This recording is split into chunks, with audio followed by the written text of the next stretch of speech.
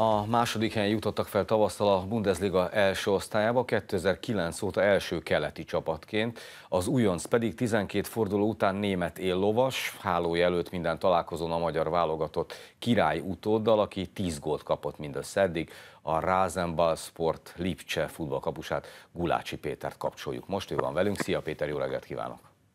Jó reggelt, sziasztok, köszöntök mindenkit! Péter, szédítő érzés a Bundesliga első helyén állni? Hát igazából nyilván ez egy olyan pillanat most, amit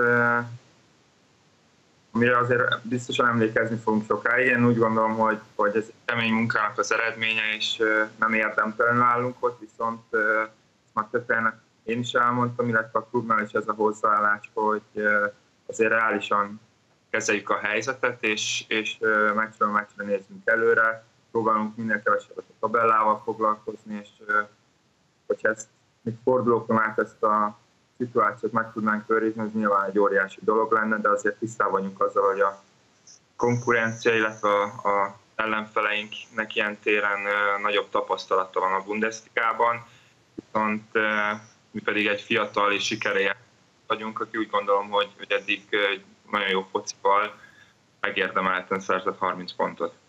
Na most a szezon elejé döntetlenekkor, a kezdetkor gondoltad-e volna, hogy itt tartatok, akkor újoncként az elején hogyan tekintettél a saját csapatod lehetséges potenciájára?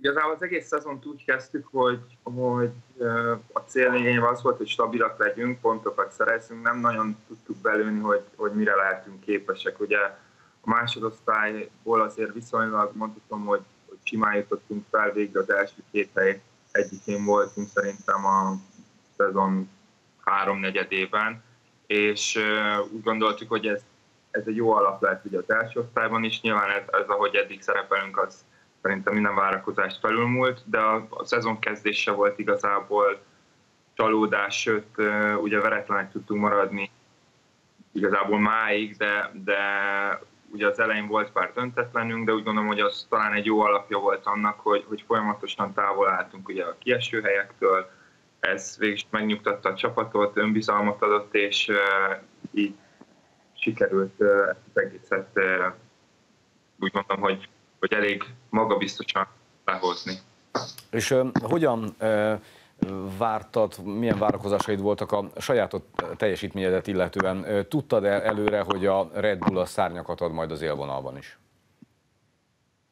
Igazából nekem is ugyanez volt a célom, ami, ami így a csapatnak. Ugye ez az első szezonom egy ilyen nagy bajnokságban, szerencsésnek mondhatom magam, mert úgy gondolom, hogy, hogy mégis a lépcsőfokat végigjártam, ugye a Liverpooli hat évem után mindenféleképpen a játék lehetőség, illetve egy olyan, egy olyan csapatot kerestünk, ahol, ahol, ahol sok mérkőzés van, és folyamatosan tudok védeni, viszont ugye a nemzetközi futballba is belekóstoltok ilyen téren, a Salzburg ez egy tökéletes döntés volt, akkor még igazából nem volt a fejünkben az, hogy esetleg ez Lipcsében is folytatódhat, mindenféleképpen csak az volt a cél, hogy, hogy folyamatosan védjek. Utána ugye jött a tavalyi év, ahol, ahol már egy sokkal keményebb bajnokságban tudtam edződni a másodosztályban. Gondolom, hogy a másodosztályok közül azért a német hanem a legerősebb, de mindenféleképpen azért, azért ott van a toppon, és, és jött ugye az idejé, én sem tudtam, hogy, hogy, hogy ezen a szinten ugye még milyen teljesítményre lehetek képes, szerettem volna magamat fölé lépésről lépésre haladni. A kapusnál úgy gondolom, hogy a legfontosabb az, hogy stabil legyen, hogy ne hibázzon, hogy, hogy biztonságot adjon a csapatnak. Ez teljesen rendben van, és hogy ezek kell ráépíteni igazából utána a bravúrokat, ezekre kell azokat az extra pontokat hozni, ami, ami, ami egy kapust ugye különlegessé tesz, vagy esetleg, vagy esetleg ami, amitől hosszú távon is be lehet, be lehet ragadni a kapuban, és, és hál' Isten ez egyelőre tökéletes Péter, azt mondd meg, ugye te már korábban is említetted, hogy már a másodosztályra igyekeztetek egy olyan csapatot építeni, amelyik majd az élvonalban is képes lesz helytállni. Az egységes taktika, a mentális közösségi, szerkezeti erő, a kialakított játékrendszer, hogyha lehetne választani, akkor leginkább minek köszönhető ez a lipcsei sikersorozat, hogyha ennek a csapatnak a játékfelfogását és, és mentalitását, habitusát próbálnád leírni? Igazából ez is változott az évek során, ugye ennek az egész játék filozófiának a megálmodója, vagy megalkotója a sportigazgatón Gráfányi, aki, Igen. aki ezt már más kluboknál is ugye próbálta e, siker, sikerre jutatni ezt a futballt, és, és végig amikor ide került a Red Bull futball találkoz, akkor ugye ez mind Szalszúban, mind pedig Lipcsében próbálta ugye érvényesíteni. Ez azért az évek során változik. A, modern futball is változik, egyre gyorsabb lesz, egyre, egyre nagyobb tempóba játszanak a csapatok, egyre kevesebb érintésszámmal, tehát ezt a pressing, pressing futballt játszani is egyre nehezebb. És mondom, hogy ami, ami kulcs az, hogy folyamatosan tudtunk ehhez alkalmazkodni. Ugye nem az ellenfél ötösén támadunk, hanem az ellenfél 16-osán. Most egy zárt középpályás védekezést alkalmazunk, ahol nagyon agresszívan a középpályára beérkező labdák ellen már, már tényleg egy, egy létszámfölényt próbálunk kialakítani on pressingen, onnan azt a területet, amit ugye a védelem mögött, az ellenfél védelme mögött uh, kinyitottunk, abba próbálunk gyorsan kontrázni, és úgy gondolom, hogy ez a játékunknak a kulcsa. Nem feltétlenül mi akarunk kezdeményezni, úgy gondolom, hogy egy újonc csapatnál feltétlenül probléma, ezekben próbálunk folyamatosan fejlődni, erről előrelépni, hogy olyan mérkőzések vannak, ahol az ellenfél esetleg zártabban védekezik, arra is legyen megoldásunk. Ez jól is működött, de, de igazából gondolom, hogy ez, a, ez az alkalmazkodás az fontos igazából a mi játékunkban is, mind az ellenfélre, mind pedig a modern futball változására is folyamatosan No, azt mondd meg, hogyan látod azt, hogy az újonc teljesítménye mennyire frusztrálja, idegesíti az ellenfeleket és a szurkolótáborokat? Ugye keletről érkeztek, és a csúcsokat ostomoljátok, finoman szóval se ti vagytok a kedvencek mindenhol. Ez, és hát innentől kezdve nyilvánvalóan sokan rátok is akarnak majd vadászni. Ez milyen nehézségeket fog jelenteni?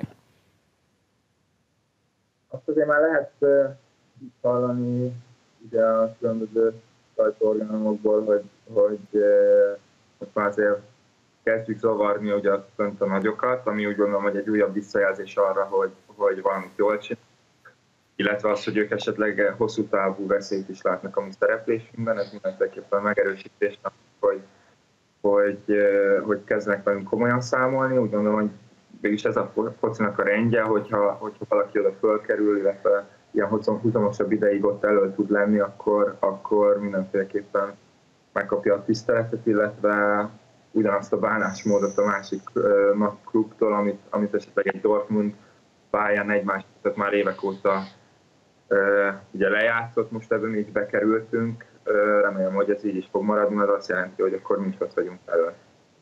Na most ilyen teljesítmény mellett nem csoda, hogy Király Gábor visszavonulása után láthatóan te vagy a válogatott első számú kapusa, és te lehetsz az utód. A válogatottban, címeres mezben nehezebb a dolgod, mint Lipcsében. A kapus feladat mennyiben más? Igazából egy kapus feladata úgy összességében hogy sokat változik egyes csapatban, ugye talán ez az egyetlen olyan poszt, ahol, ahol azért a csapatjátékától függetlenül egy kapus hasonló feladatai vannak. Nyilván apró dolgok esetleg tudom, hogy a válogatottban ott a kapitány úr szeretne játékot játszani, az, az egy kicsit másabb, mint amit kint mint Lipcsében játszunk, mi ugye a válogatottnál hátulról próbáljuk felépíteni a támadásokat, kevés hosszú labdával, a labdát a földön tartva, próbálunk a játék felett egy ilyen kontrollt kialakítani. Még Lipcsében kicsit pont az ellenkezője van, ugye mi abból indulunk ki, hogy nem nálunk van a labda, hanem az ellenfélnél, és hogy szerezzük meg, és hogy szerezzük be minél gyorsabban a támadásokat. Tehát ilyen téren ugye a két játék különbözik, viszont egy kapusnak a feladata az minden mérkőzésen megegyezik, a legfontosabbat hogy ne kapjunk volt. Ezt pedig úgy lehet elérni alapvetően, hogy a védelmet nagyon pontosan és 90 percen koncentrált keresztül irányítani kell, számolni kell azokkal az helyzetekkel, amik, amik esetleg ugye átcsúsznak, és, és, és az ellenfél gólhelyzetet alakítnak ki. Tehát úgy gondolom, hogy nagyon nagy változás nincsen, mind a két helyen próbálok alkalmazkodni ugye a, a csapattársakhoz, a játékhoz, és, és át, igazából felelősséget vállalni, a védelmet minél jobban irányítani, illetve a védésekkel segíteni a csapatot. Hát Péter, mi pedig mindkét fronton további jó munkát, sok sikert és kevés gólt kívánunk neked. Köszönöm szépen, hogy velünk voltál, szia! Sziasztok!